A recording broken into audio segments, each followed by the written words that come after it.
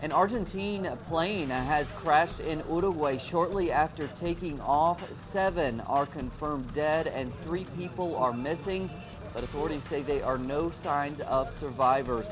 The cause of the crash was not immediately known, but air traffic controllers said that they saw an explosion shortly after takeoff.